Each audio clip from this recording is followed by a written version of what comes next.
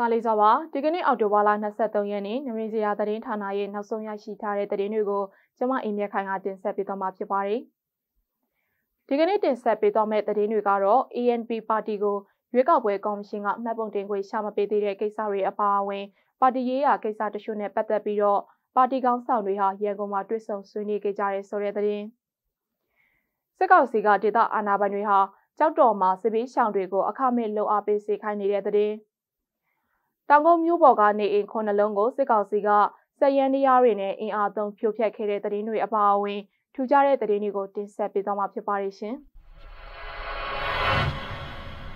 ရခိုင်မျိုးသားပါတီ ANP ကိုပြည်ထောင်စုရွေးကောက်ပွဲကော်မရှင် UEC ကမှတ်ပုံတင်ခွင့်ချမပေးသေးတဲ့ကိစ္စတွေအပါအဝင်ပါတီရေးရာကိစ္စတချို့နဲ့ပတ်သက်ပြီးတော့ပါတီကောင်းဆောင်တွေဟာရန်ကုန်မှာတွေ့ဆုံဆွေးနွေးခဲ့ကြပါတယ်။အော်တိုဘာလ22ရက်နေ့ကရန်ကုန်မြို့ဗဟန်းမြို့နယ် ကုတ်ကိုင်းလမ်းစုံနာကဘုံကျောင်းဆိုင်မှာအလို့သဘောတွဲဆုံဆွေးနွေးခဲ့ကြတာပါ။အဲဒီနေ့ကတွဲဆုံပွဲကို ANP ပါတီရဲ့ဥက္ကဋ္ဌဦးတာထွန်းကဒုဥက္ကဋ္ဌဖြစ်တဲ့ဦးတင်ညိုနဲ့ဦးမြင့်နိုင်ပါတီရဲ့မူဝါဒရေးရာဦးဆောင်ကော်မတီဝင်တွေဖြစ်ကြတဲ့ဦးပါရှိန်ဦးစံကျော်လှ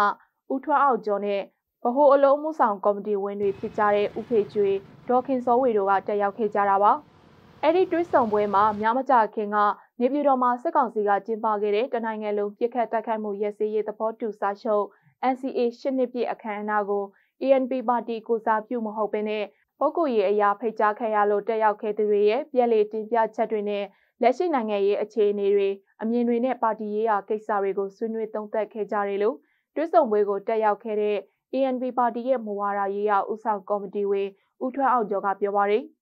နောက်ပြီး UEC က ANP ကို မှတ်ပုံတင်ခွင့်ရှာမပေးသေးတဲ့ကိစ္စကိုလည်းထေသွင်းဆွေးနွေးခဲ့ကြပေမဲ့တစုံတရာဆုံးဖြတ်ချက်ချမှတ်တာမျိုးတော့မရှိခဲ့ကြဘူးလို့လည်းဦးထွန်းအောင်ကျော်ကဆက်ပြောပါရယ်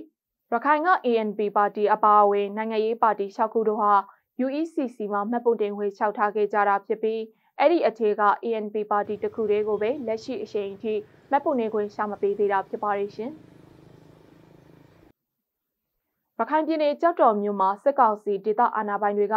စစ်ပေးရှောင်တွေကိုဌာနဆိုင်ရာတွေမှာအခကျင်းငွေပေးတာမျိုးမရှိဘဲနဲ့လှုပ်အားပေးစေခိုင်းတာတွေရှိနေတယ်လို့စစ်ပေးရှောင်တွေစီကနေသိရပါဗျ။ပြီးခဲ့တဲ့ဩဂတ်လကစတင်ပြီးတော့လက်ရှိအချိန်အထိကြောက်တော်မြို့နယ်အထွေထွေအုပ်ချုပ်ရေးမှူးရောပညာရေးမှူးရုံးတွေနဲ့ပြည်သူ့စေယုံတွေကပိမ့်ပင်မြက်ပင်တွေနဲ့အမိုက်သရိုက်တွေကိုအခကျင်းငွေတစုံတရာမပေးဘဲနဲ့စေခိုင်းနေတာဖြစ်ပါတယ်။စေတနာပါလို့သွားလို့ရတာမျိုးမဟုတ်ဘဲနဲ့ဆေးရုံကိုနေမကောင်းလို့သွားပြလို့ရှိရင် စစ်ပေးရှောင်မို့လို့အစေးအဆိုလွတ်အောင်သွားလုပ်ပေးရတာဖြစ်တယ်လို့ကြောက်တော်မျိုးဘောလုံးကွင်းစစ်ပေးရှောင်စခန်းကစစ်ပေးရှောင်တယောက်ကနရိစရာသတင်းဌာနကိုပြောပါရယ်စစ်ပေးရှောင်တွေဟာကျေးလက်တော်ရော်တွေကလာရောက်ကြသူတွေဖြစ်တယ်လို့စည်ရင်နှုံးပါကြသူတွေလည်းဖြစ်ကြပါရယ်ဌာနဆိုင်ရာတွေဟာစစ်ပေးရှောင်စခန်းတွေက9ယောက်ကနေ15ယောက်အထိခေါ်ယူစေခိုင်းနေတာဖြစ်ကြပြီးစစ်ပေးဆောင်တွေအနေနဲ့လည်းမငင်းဆန်ဝင်လို့တွားရောက်လှုပ်ဆောင်နေရတာဖြစ်တယ်လို့ကြောက်တော်မျိုးမီရထားဘူတာစခန်းကစစ်ပေးဆောင်တယောက်ကပြောပါရယ် ကြောက်တော်မျိုးမှာစစ်ပေးဆောင်စခန်း12ခုရှိပြီးစစ်ပေးဆောင်ဦးရေ8000ကျော်ရှိတယ်လို့မြို့နယ်စစ်ပေးဆောင်ကြီးကြပ်ရေးကော်မတီကနေသိရပါရယ်ရှင်ရခိုင်ပြည်နယ်တောင်ကုန်းမြို့ကိုင်းရှည်ရက်ကွက်ကနေအိမ်ခုနှလုံးကိုကျူးကျော်မြေမှာဆောက်လုပ်နေထိုင်လို့ဆိုပြီးတော့မနေ့ကအော်တိုဘာလ22ရက်နေ့မှာစစ်ကောင်စီတာဝန်ရှိသူတွေကစရန်တရားကြီးတွေနဲ့အင်အားသုံးဖြိုဖျက်ခဲ့တယ်လို့သိရပါတယ်။အင်အားသုံးဖြိုဖျက်ခံခဲ့ရတဲ့နေအိမ်တွေဟာ ကိုင်းချီရက်ကွက်တာဝတိန်သာလန်အစွန်ဆုံးကနေအိမ်တွေဖြစ်ကြပြီးစေပင်သားရအဖွဲ့ကဖေရှားပေးဖို့အမိထုတ်ပြန်ခံထားရတဲ့အိမ်တွေဖြစ်ပါတယ်။အဲ့ဒီနေအိမ်ခုနှလုံးကိုတောင်ကုန်းမြို့စေပင်သားရကဥဆောင်ပြီးတော့ပပိုးနဲ့ထိုးဖြက်ဖေရှားခဲ့တာဖြစ်တယ်လို့နေအိမ်ပိုင်ရှင်အမျိုးသားတယောက်ကပြောပါတယ်။နေအိမ်တွေကိုဖြိုဖျက်ဖို့အတွက်မြို့နယ်စေပင်အရာရှိတွေမိသက်တပ်ဖွဲ့ဝင်တွေအပြင်ရဲတပ်ဖွဲ့အရှုပ်ကားတွေလည်းခေါ်ယူလာပြီးတော့ နေအိမ်ကိုအကြမ်းမတမ်းအင်အားသုံးဖြိုဖျက်ခဲ့တာကြောင့်စိတ်မကောင်းဖြစ်ရတယ်လို့သူကဆက်ပြောပါတယ်။စစ်ကောင်စီကအင်အားသုံးဖြိုဖျက်ခဲ့တဲ့နေအိမ်နဲ့ချမ်းမြေတွေရဲ့တန်ဖိုးဟာခေတ်ကာလပေါက်ဈေးအရာတအိမ်ကိုကျပ်သိန်းတစ်ထောင်နီးပါးရှိတယ်လို့နေအိမ်ပိုင်ရှင်တွေကဆိုကြပါတယ်။အဲ့ဒီမြေနေရာတွေကိုပြီးခဲ့တဲ့10နှစ်လောက်ကနေအိမ်ပိုင်ရှင်တယောက်ကဘိုးဘွားမြေကိုပြန်လေးရောင်းချရာကနေဝေယူခဲ့ကြတာဖြစ်တယ်လို့နေအိမ်ပိုင်ရှင်တွေကပြောကြပါတယ်။ ဖြိုဖျက်ခံခဲ့ရတဲ့နေအိမ်တွေဟာစီပင်ကအိမ်အခွန်ပုံမှန်ကောက်ခံခဲ့တဲ့နေအိမ်တွေဖြစ်ကြတယ်လို့လည်းနေအိမ်ပိုင်ရှင်တွေကပြောဆိုကြပါရရှင်။ဘင်္ဂလားပင်လယ်အနောက်အလဲပိုင်းမှာဖြစ်ပေါ်နေတဲ့မုန်တိုင်းငယ်ဟာအော်တိုဘာလ26ရက်နေ့နဲ့29ရက်နေ့မှာရခိုင်ကမ်းခြေကိုဖျက်ကျော်နိုင်တယ်လို့မိုးလေဝသနဲ့ဇလဗေဒညွှန်ကြားရေးမှူးဦးလှထွန်းကသုံးသပ်ခန့်မှန်းထားပါတယ်။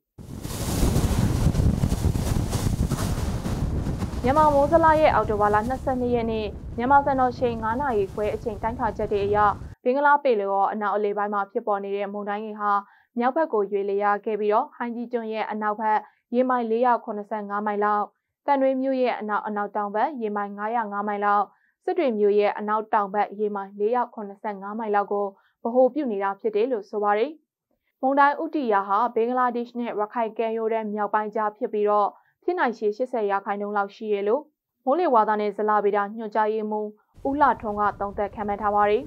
။အောက်တိုဘာ24ရက်နေ့ကစပြီးတော့ရခိုင်ကမ်းရိုးတန်းကန်ဒီကန်ဝေးတစ်လျှောက်လှိုင်းလေထန်တာတွေကိုတတိပြုကြဖို့မြန်မာနိုင်ငံအနောက်ဘက်ခြမ်းဒေသတွေမှာမုန်တိုင်းရဲ့နောက်ဆက်တွဲအဖြစ်မိုးသေးထန်စွာရွာသွန်းတာတွေဖြစ်နိုင်လို့မိုးလေဝသသတင်းတွေကိုဂရုပြုနားထောင်ဖို့လိုအပ်တယ်လို့သူကဆက်ပြောပါတယ်။ဒါအပြင်မိုးလေဝသပညာရှင်ဦးဝင်းနိုင်ကလည်း ရခိုင်ပြည်နယ်မြောက်ပိုင်းဟာမုန်တိုင်းလမ်းကြောင်းနဲ့နီးကပ်နေတာကြောင့်မုန်တိုင်းအရှိန်တက်ရောက်မှုကိုပိုပြီးခံရနိုင်လို့လိုအပ်တာတွေကိုပြင်ဆင်မှုတွေလုပ်ထားသင့်တယ်လို့သုံးသပ်ထားပါတယ်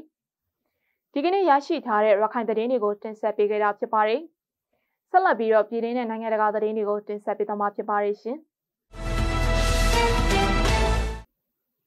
မန္တလေးတိုင်းမိုးကုတ်မြို့နယ်နဲ့ရှမ်းပြည်နယ်နန့်ခမ်းမြို့နယ်တွေမှာတအန်းပလောင်ပြည်နယ်လွတ်မြောက်ရေးတပ်ဦး PSLF TNL နဲ့ စစ်ကောင်စီတပ်တွေဟာအော်တိုဝါလာ22ရက်နေ့ကတိုက်ပွဲဖြစ်ပွားခဲ့ပြီးစစ်ကောင်စီဘက်ကကြာဆုံးသူများပြားခဲ့တယ်လို့ TNL အစစ်မြစ်အရာရှိတယောက်ကနှဝင်စရာကိုပြောပါရယ် TNL ရဲ့တအန်းပြည်နယ်တပ်မဟာနဲ့စစ်ဒေသဖြစ်တဲ့မိုးကုတ်မြို့နယ်နဲ့တပ်မဟာတစ်စစ်ဒေသဖြစ်တဲ့နန့်ခမ်းမြို့နယ်တွေမှာတိုက်ပွဲဖြစ်ပွားခဲ့ကြတာဖြစ်ပြီးစစ်ကောင်စီတပ်စီကနေလက်နက်ခဲယမ်းတွေအများအပြားသိမ်းဆည်းရမိခဲ့တယ်လို့ဆိုပါတယ်။တအန်းတပ်မတော်တပ်မဟာတစ်စစ်ဒေသ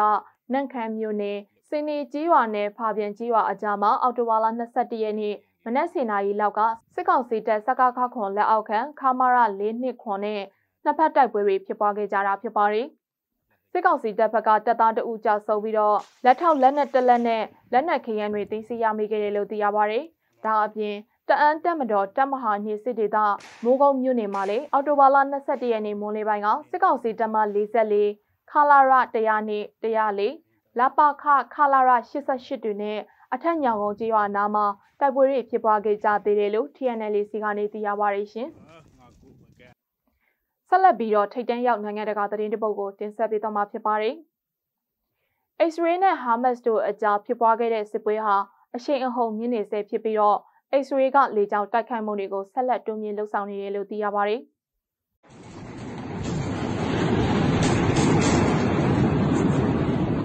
အစ္စရေးကမြောက်ပိုင်းမှာကျန်နေသေးတဲ့ပါလက်စတိုင်းတွေကိုတောင်ပိုင်းကိုအမြန်ဆုံးထွက်ပြေးကြဖို့တတိပေးထားပြီးတော့မထွက်ခွာပေးကျန်နေသူတွေကိုအကြမ်းဖက်သမားတွေနဲ့ပူးပေါင်းသူတွေလို့သတ်မှတ်မယ်လို့ဆိုပါရယ်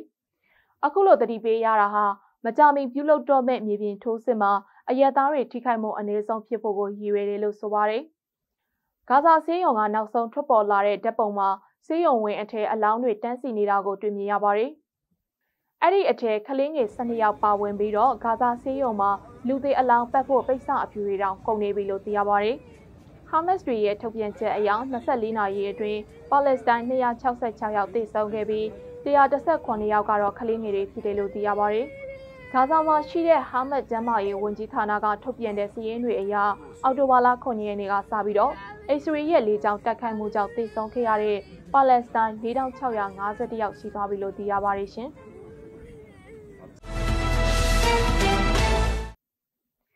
ရိစီယာသတင်းဌာနရဲ့နေ့စဉ်သတင်းတင်ဆက်မှုတွေကတော့ဒီလောက်ပါပဲ။နောက်နေ့တွေမှာလည်းထူးခြားတဲ့သတင်းတွေကိုဆက်လက်ပြီးတင်ဆက်ပေးသွားမှာပါ